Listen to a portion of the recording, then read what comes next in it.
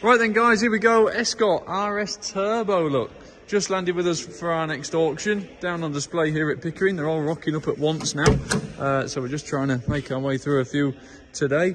Um, a bright looking car, been sat for some time. Um, brakes are going to want an overhaul, just mainly due to lack of use.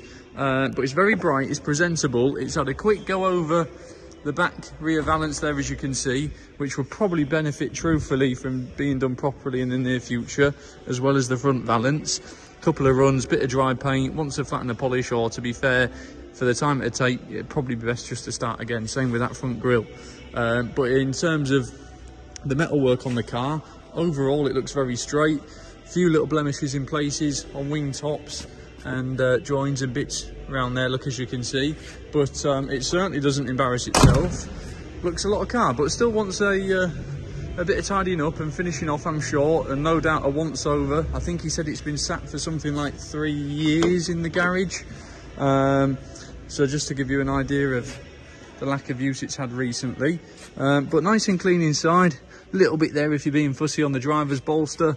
A um, few tiny little bits on the dash top but nothing to write home about. Overall, interior wise, is uh, is very good. No, it's tidy enough. We've got a little bit of information here. Look what we got. Uh, S1 Ford Escort RS Turbo, new fuel tank, new fuel pump, fuel lines, rebuilt turbo, new head gasket, new van valve stem seals, new camshaft lifters. There you go, look, new coil, new brakes, new brake cylinders, master cylinder, handbrake cable, fuel filter, oil filter, oil change, spark plugs, and five alloy wheel refurbished, diamond cut as well, and tyres as new. So there you go. I'll stick that in the window later on. Yeah, the wheels are lovely to be fair, made a lovely job of them. So, um, so there you go. Nice, bright looking Escort RS Turbo. Obviously, be sure and speak to the girls in the office with regards paperwork. They can let you know what we've got for it. Uh, but no, do come down and have a good look round. I haven't been right underneath it. Um, had a few bits here and there as you can see.